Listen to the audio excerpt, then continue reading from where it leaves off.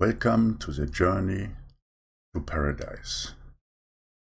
My name is Michael, and I'm the founder of Triple Grace and the Righteous Path Movement Foundation.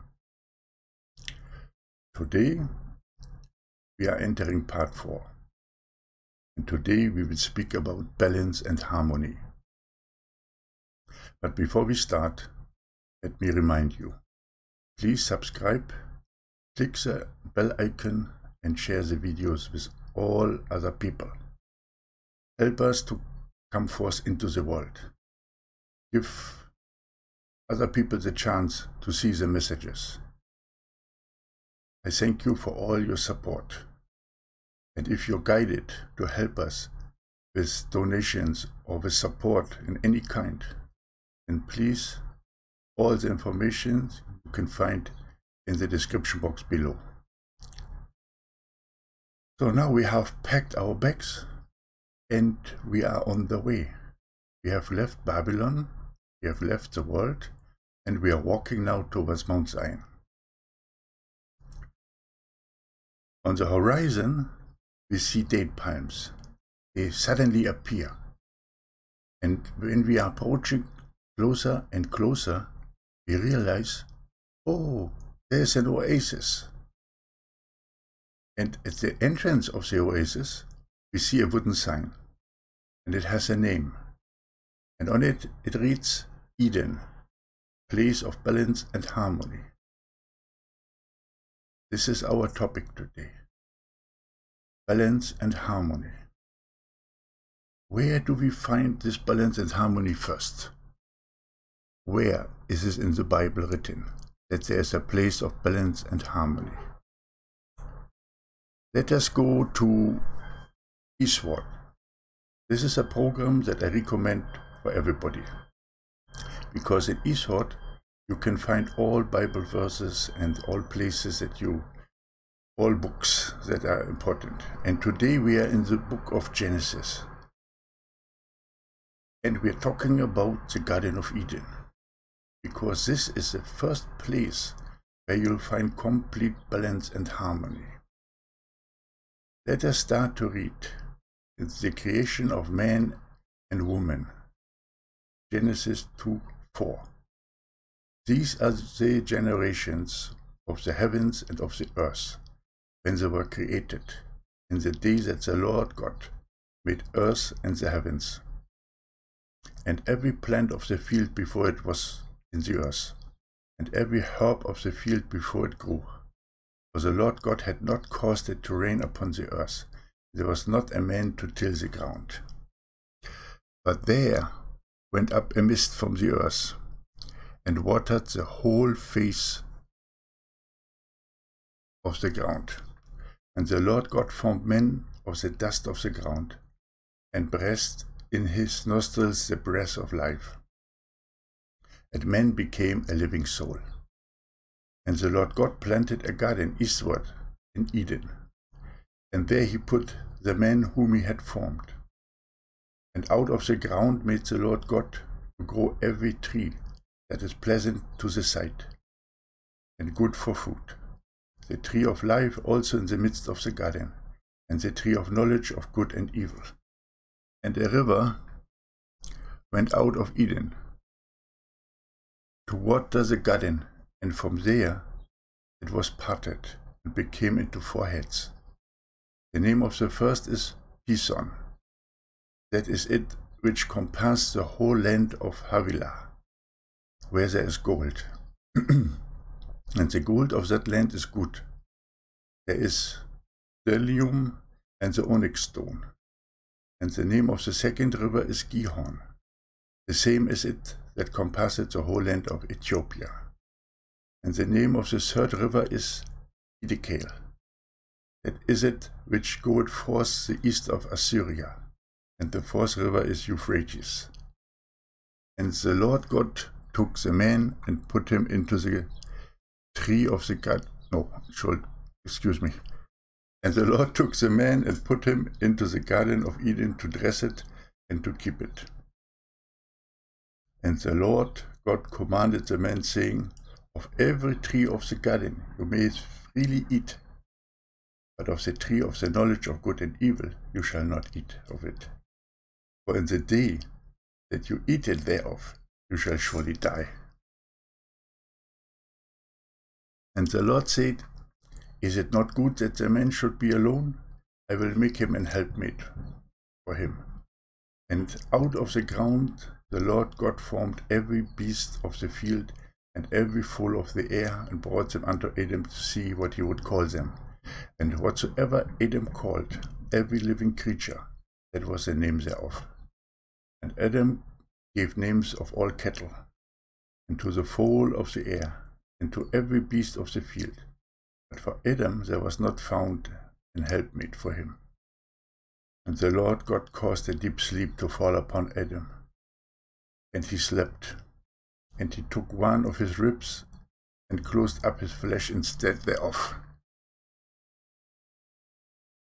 And the rib which the Lord God had taken from man made he a woman, and brought her unto the man. And Adam said, This is now bone of my bones and flesh of my flesh. She shall be called woman, because she was taken out of man. Therefore shall a man leave his father and his mother, and shall cleave unto his wife, and they shall be one flesh. And they were both naked, the man and his wife, and were not ashamed.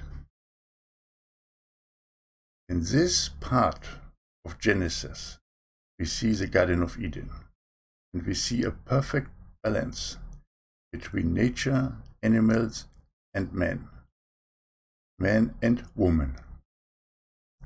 And in this garden, even God Himself, Yahweh, was walking together with Adam and Eve. And they were talking and discussing. It was a place where heaven and earth merged together. This was the first place created by God. And this place is a place that we need to restore through the power of the Father. God will restore that place, but we have to allow Him to do that. We have to walk that path towards the holy mountain, and from there, at the end, when New Jerusalem will come down, we will then come back to the Garden of Eden. Everything will be perfect. And as you see our image with the lion and the girl, you will just, all will be in perfect harmony and balance. The lion will not eat the girl, and the girl will not tease the lion. Everything will be perfect. Now, let us talk about balance and harmony in other places.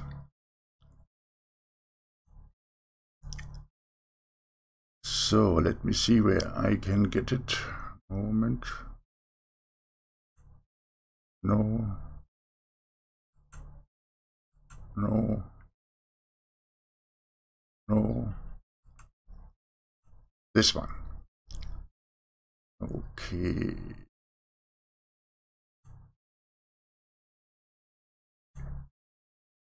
No. Moment. I don't know where I have not too easy.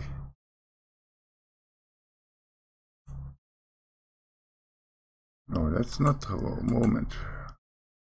So, so let's look at this. I made an image for you to understand. It's called balance and harmony. But you see, on the left side is the earth a circle representing the earth. And on the right side, you see a circle representing heaven.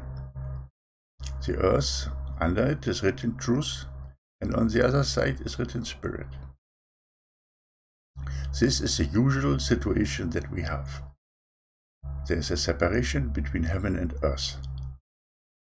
But in the times of judgments, and we are now in the time that judgment is falling on earth, it will come to a merging together. This one you will see down here on this one. And heaven and earth will merge. When heaven and earth will merge together, an opening will appear. A new place will be created.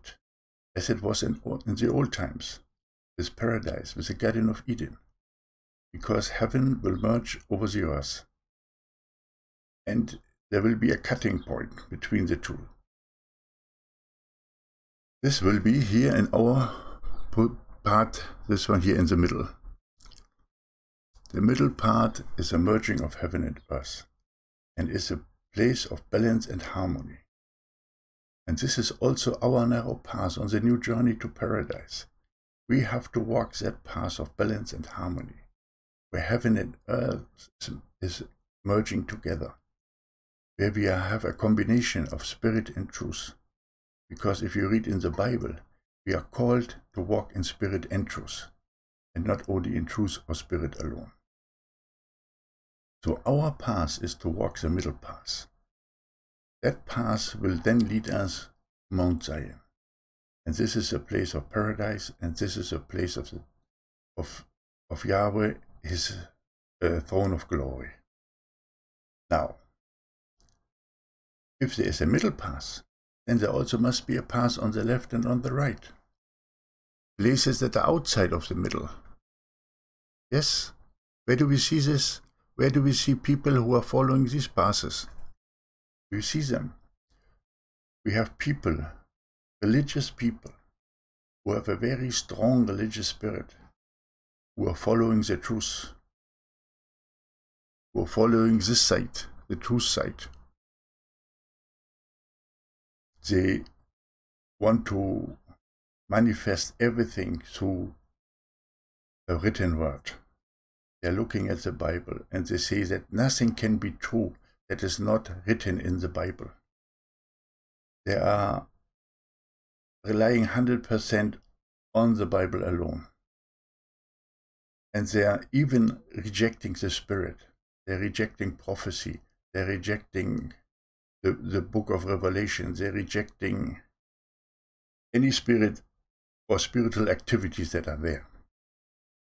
These are the people who are walking in this area, outside the middle path. This is not the right way. I tell you, this is not the right way. We were called to walk in spirit and truth. We cannot walk in truth alone. Yes, Jesus is truth. He has said that. He is the way, the truth, and the life. Yes, He is truth and he is to be found in the Bible. Obviously, he is found in the Bible. But we also have spirit. We have to put the helmet of salvation on our heads and the sword of the Spirit in our hand. We cannot do it alone or separate. Now, if on the left side we have uh, people who are following only truth, then we also must have on the, the right side people who only follow Spirit. Do we have them? Where do, you, eh, where do we find them? What kind of people are these? These are the New Agers, full of spirit, but they are misusing their spirit and then lifting themselves up to be God. They're not believing in a manifestation of a person as a living God. So they have only spirit. But that is also the wrong way. Alone in spirit, it cannot work. Important is always balance and harmony. So we have to walk that middle path where spirit and truth are coming together. To the people on the truth side, I say, do not be afraid of the spirit. Do not be afraid of dreams and visions, of prophecies, of what the Holy Spirit is telling you, of your intuition, how you are guided every day by your angels. Do not be afraid of all this. It might be nothing that you can touch, but everything will come together for the good of Yahweh. And to the people on the other side, to the spirit people, I say, please do not throw away the living God. You have to find truth in your spirit. Otherwise, it is nothing that you can put in your life you say they're only spirits, they're only energies, they're only something like that. But our living God is not an energy. He is a real person. And his only begotten Son, Jesus Christ, too, He is a real person. And he was on earth. And he suffered for us. He gave the greatest sacrifice so that you will have eternal life. So do not throw the, the sight of God and his only begotten Son away only because some religion give you a bad example. Because many religions are only following the true side. They're rejecting spirit completely. They always say, oh, everything spiritual is from the devil. Everything what is not written in the Bible is from the devil. That is all not true. I tell you that. It is not. It is written that in the last days Yahweh will pour out his spirit onto all flesh. So how can you then reject the spirit?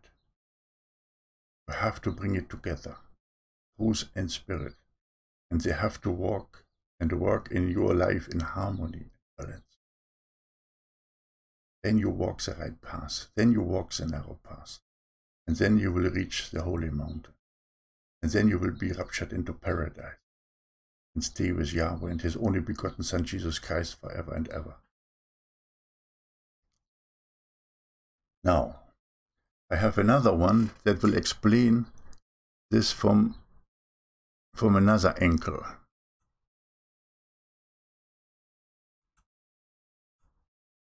That is this one. Here you can see two sides. On the right side,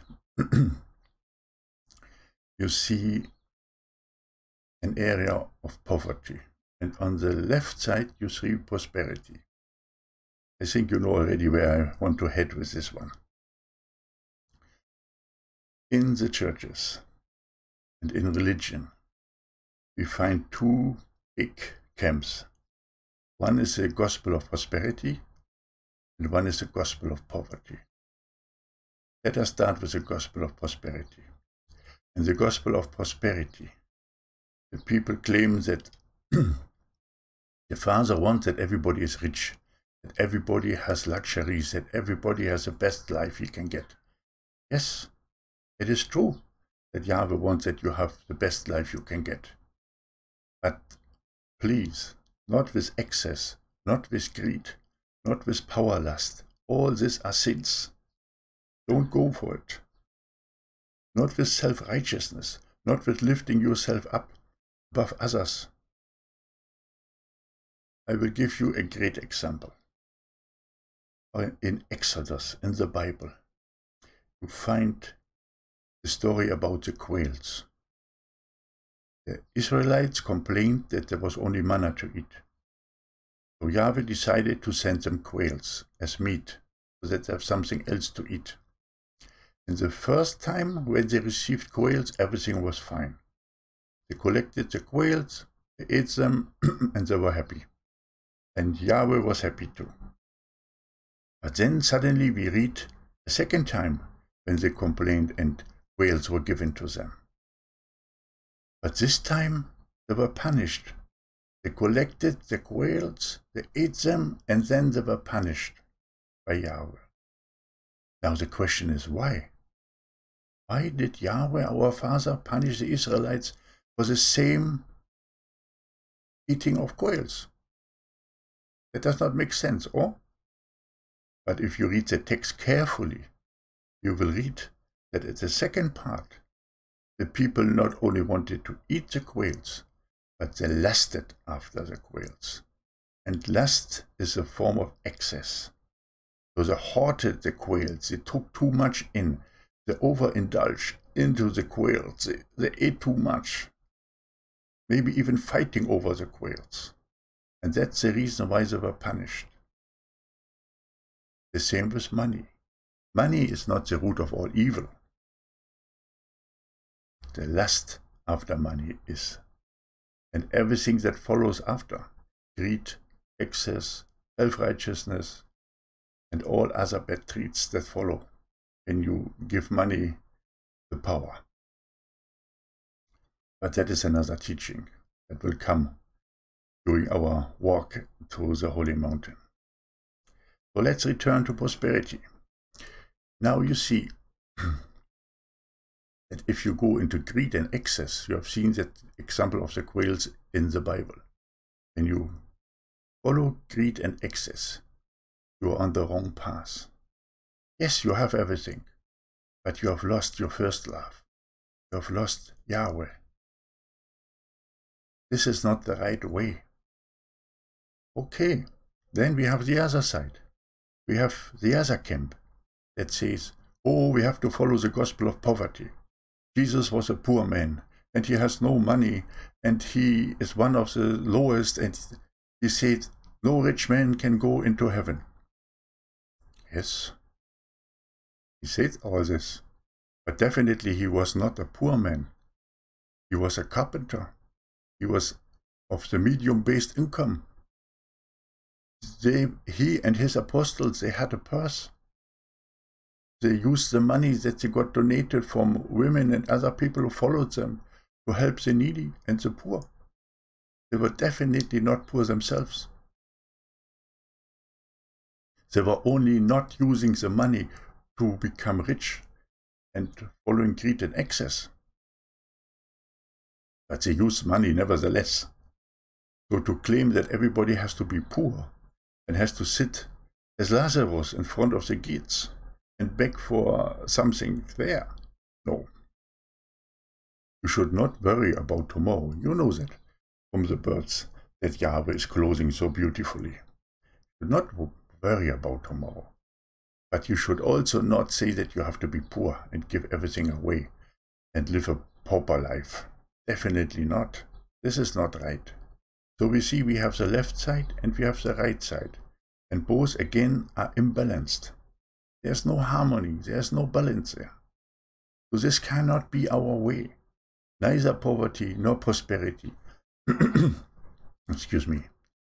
We have to find a new way. So, what are we doing now?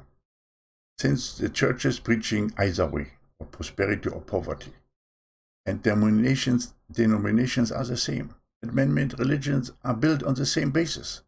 So then we have to come out of Babylon then we have to go away from the world. And we have to follow our own path. And this path can only be the middle path. Because we have to stay in balance and harmony. We do not want to be we do not want to stay in prosperity with greed and excess, but we also do not want to be poor. So again, heaven and earth will merge. And where they merge together, you will find the middle path. And you see it here on this image, middle path, where we walk with triple grace. This is a new path of your life, in the middle. Yes, we use money to lift up the needy, the poor, the nameless, the faceless. Yes, we are asking for donations. Yes, we are asking for support. But we will never use the money to excel ourselves above others. We will never use the money to make us big. We will never use the money to buy planes for traveling or for reaching super goals or building big churches. We don't have anything like this. Triple Grace has no church buildings. There's no need because, as you have seen in the last teachings, we are modeled after the assemblies of the book of Acts. And these are house churches. So let's come back. So Triple Grace is walking the middle path. You see the stars in the middle there, the five stars. They represent the powerhouses of the Lord, because we will gather the people in and we will shine forth with the societies of the rose in the nations. It is our path, it is our way. We have to gather the people with the helmet of salvation and the sword of the Spirit to bring them together at the new and restored altar of love, unity, and support. And when we have gathered them, we continue our path in the middle towards Mount Zion. Because at Mount Zion we find the Lamb of God, what is Jesus Christ. And we find the house of the Father, where Yahweh will sit on his throne of glory. And at this place you will find and will see a multitude of people clothed in white. And these people will be raptured into paradise. or sealed as one of the 144,000. So walk with us in balance and harmony, in the middle, not to the right or to the left. Walk that narrow path in the middle. Understand about balance and harmony. Look in the Bible at Genesis, the Garden of Eden. This is an example. Look at the story of the quails. You think about money. Look about what Jesus did. Always look what Jesus did, because he is our example.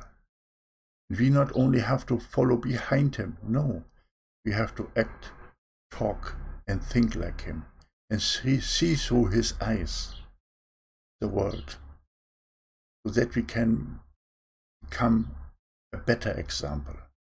Because our churches today are not giving good examples.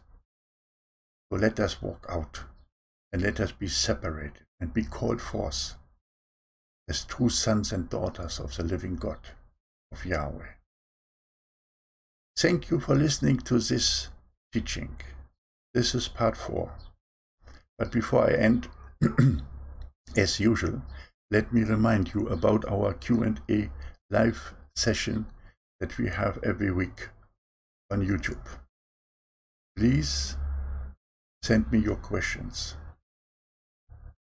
Any question that you have about triple grace, about our past, about any of the videos, whatever. Any question, please send them, and we will answer them in the Q&A sessions. Share the videos, click the bell icon, subscribe to YouTube and Triple Grace. And if God leads you, please help us to lift up the needy and, and to create more videos, to get better equipment, so that I can stop with my stammering that I have. I'm not a native speaker of English, as you know. So forgive me if sometimes it sounds a little bit rough. But you can assist us and you can help us in your ways. And God will bless you for that. Thank you. And I thank you for all donations that are coming in. You are such a great people. And I'm so happy that you join me and that you walk with me because we are all equal, and we are all true sons and daughters of the living God, of Yahweh.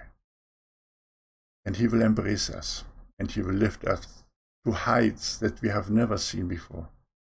And we will all meet again together in paradise. And I will be so happy to meet all of you.